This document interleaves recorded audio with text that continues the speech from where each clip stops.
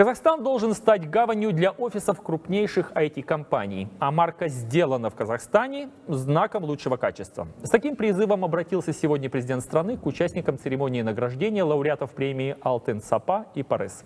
В этом году участие в конкурсе приняло более 200 человек. Тимур Сапар расскажет об этом подробнее.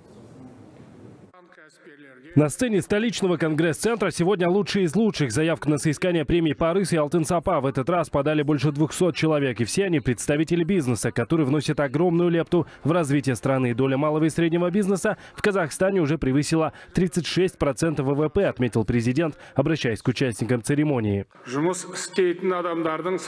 Число людей, работающих в этой области, достигло больше 4 миллионов, что составляет 45% трудоспособных граждан страны. Работа по индустриализации ведется в последние годы высокими темпами. В прошлом году объем экспорта обрабатывающей промышленности превысил 26 миллиардов долларов. Это рекордный показатель. В прошлом году в эту отрасль привлечено полтора триллиона тенге инвестиций.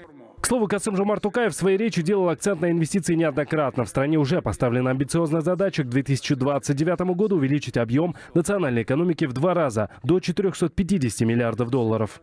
Необходимо запустить новый инвестиционный цикл – который станет важным элементом экономического роста нашей страны.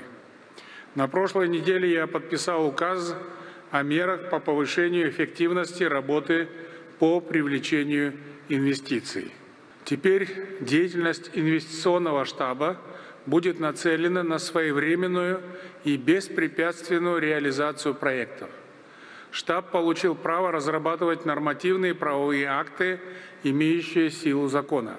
Сила закона направлена против давления на бизнес. Уголовных дел в сфере предпринимательства стало в два раза меньше. В пять раз сократилось число уголовных производств, прекращенных по реабилитирующим основаниям. Инвесторов сопровождают прокуроры, а государство работает с ними в так называемом «зеленом коридоре». При этом, конечно, про спрос и контроль никто не должен забывать.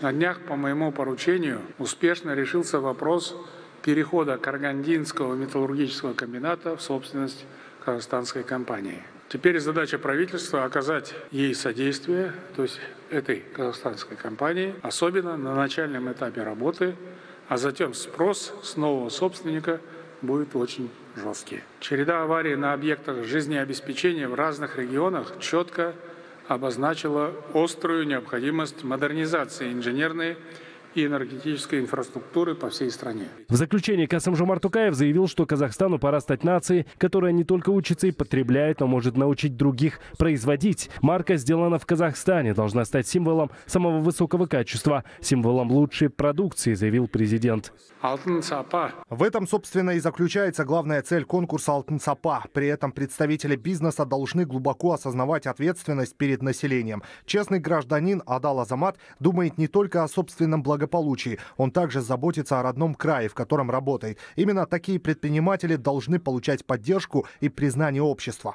В этом году участники конкурса приняли активное участие в различных социальных проектах. На благотворительные цели передано около 80 миллиардов тенге. Создано более 6 тысяч новых рабочих мест. Сейчас разрабатывается новый налоговый кодекс, который оптимизирует налоговые платежи как минимум на 20%. В свою очередь это даст предпринимателям больше возможностей развивать свой бизнес и помогать обществу. Тимур Сапар, Жандос Битабаров, Алмаз Умаргалиев при поддержке телерадиокомплекса президента 24 КЗ.